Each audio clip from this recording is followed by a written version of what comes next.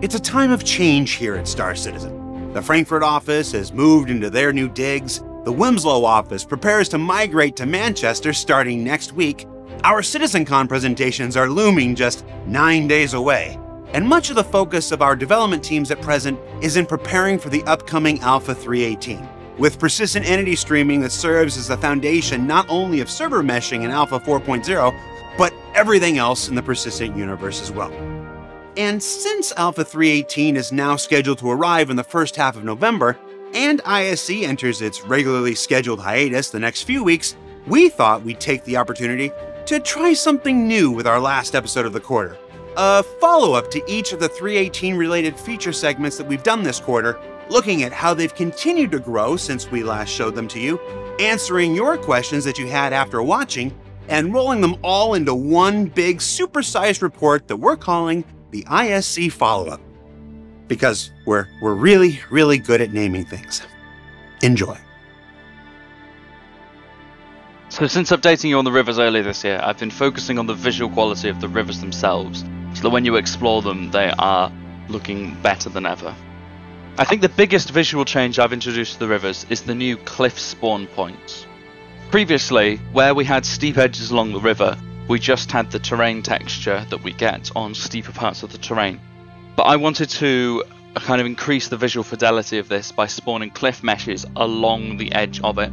So that's exactly what we've done. For the cliff mesh spawn points, we add a new spawn point at the height of where the terrain would have been if the river wasn't there, so that we can control where the top of the cliff is relative to the edge of the terrain near it. And that's these red spawn points you can see here. When I turn these back off,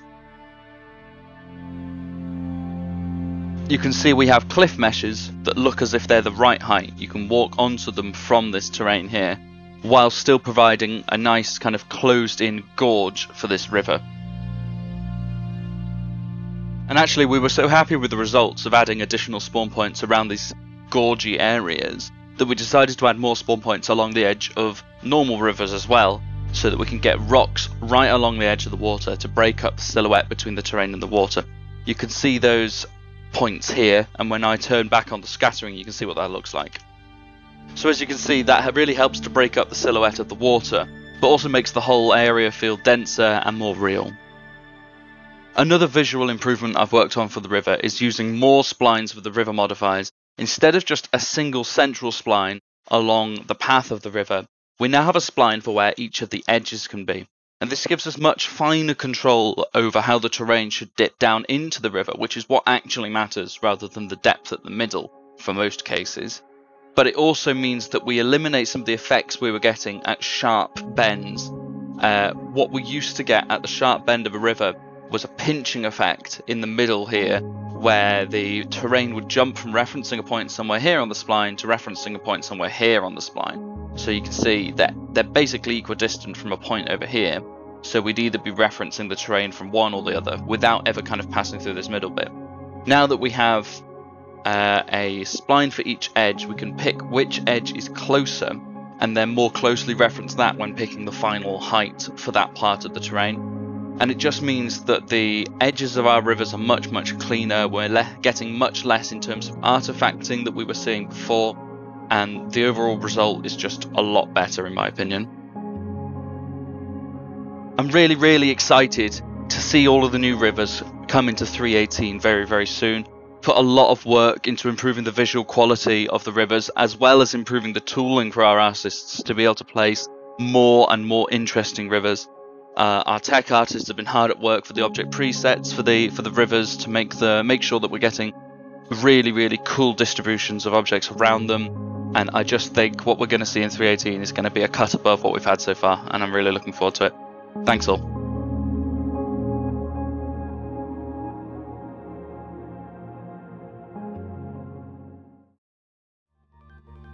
Since the last time we spoke about the PTV racetrack, it's been mostly just bug fixing.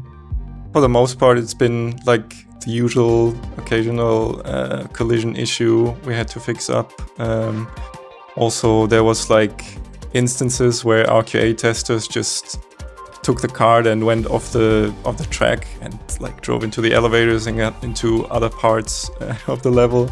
So I kind of had to go around and fence off all the areas where people could leave the track. Um, also, just in some cases, on like inside the track, there was uh, little shortcuts that could be taken. So also these ones had to unfortunately block them off so nobody can gain an unfair advantage.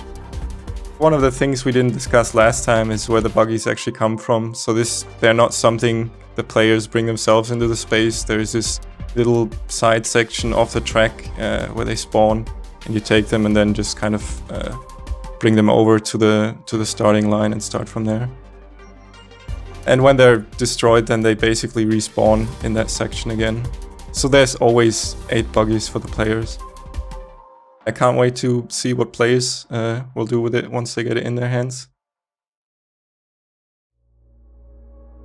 Since the last time we spoke, Kareah has changed a lot in its environment. Uh, we've been sort of building up and sort of breathing new life into it, making it on par with our some of our other locations in terms of branding and sort of how we want the player to move through the space.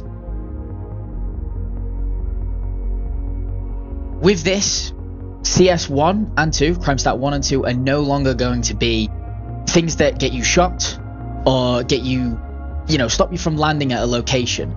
These fines will essentially just be like mini slaps on the wrists. Law enforcement will comment on them when they stop you and tell you to go pay your fines off, but they're not going to be as big of a, a meaning as they once was.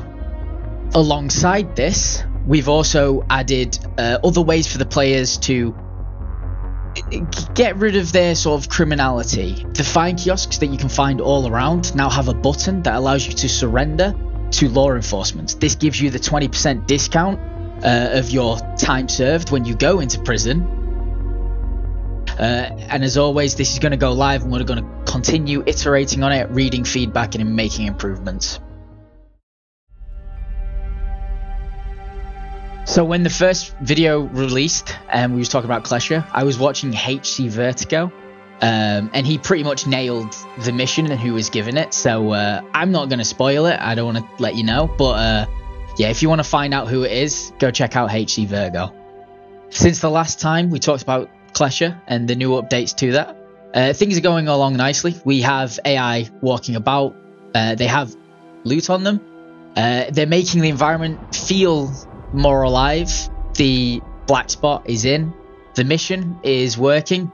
In the mission, we've added routes coming out of the wall so that even though people might know how to beeline it out of there, now they have to figure out how to get to this place they've never been to before and break the route they're normally used to and then have to rejoin, which is the difficult part because we always make the rejoining bit harder and they can fall all the way down or, you know, whatever.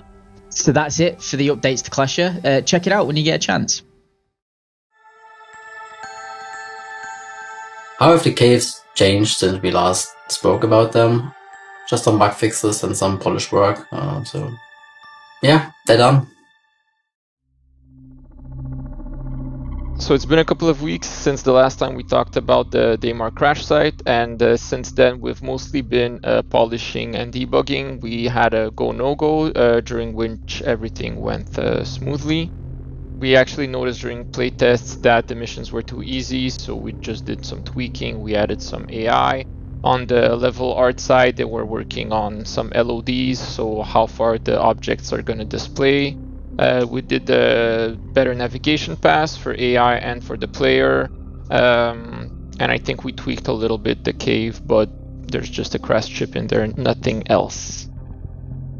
We've also been working in uh, integrating all the missions, so there's going to be three missions on the Daymar crash site. There's going to be a kill specific, a kill all, and a delivery missions where you need to go in and uh, gather some loot, uh, crates and uh, deliver them. Uh, we've also been working on uh, changing up the AI that's there because currently it's the NineTails and we wanted to add a little bit more diversity in there. So we're working on adding in the sand nomads, which are probably not going to be here for this release, but possibly the next one.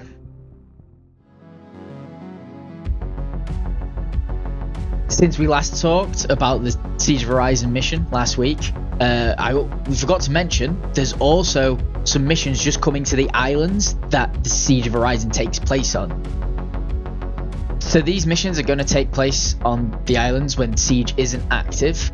Uh, the missions we have you doing will take you from building to building, eliminating a number of enemies, or maybe taking out a, a high value target. These missions are currently just like a prototype, they're very basic, they're just kind of exploring what direction we want to go at for these and other islands. So these will be another small addition when 318 goes live. So there were some questions after we released our last ISC where we talked about hull scraping. And uh, there are some things that I can clarify from our position. So what makes a reclaimer more profitable or better for in, in comparison to the vulture? For T0, there is no real difference. So the only difference there is you have more space to store your, your scraped off uh, hull material. But uh, the proper differences only come with Salvage T1. So once we talk about uh, munching and uh, actually uh, like converting proper ship debris into smaller bits, the size of the, the reclaimer is definitely an advantage here.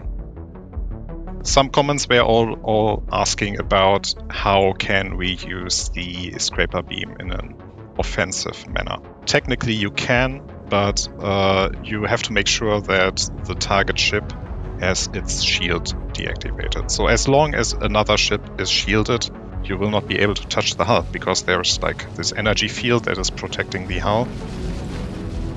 So there were also some questions on the repair side, and um, sadly, this repair iteration isn't the full fleshed out repair that you might need if your ship is fully destroyed. So if you lost a wing, the wing is lost if you lost your engine, the engine is lost. So your your magically repair gun that right now is taking the hull material to create new hull material.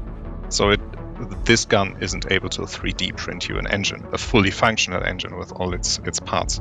So what it does is just cover ups of like your hull.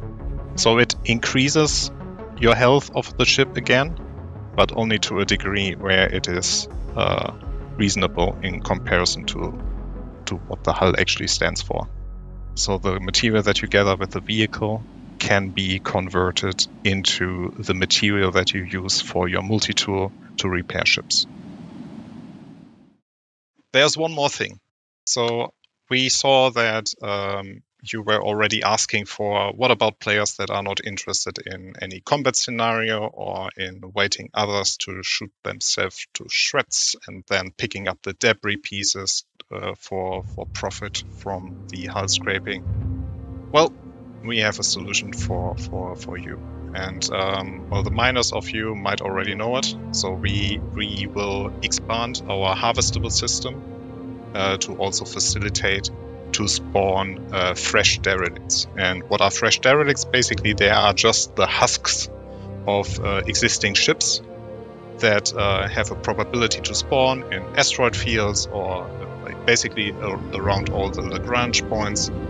And uh, you will be able to find them uh, using scanning um, and then approach them like you would do with a mineable and then scrape off their hull and that is coming in Alpha 318.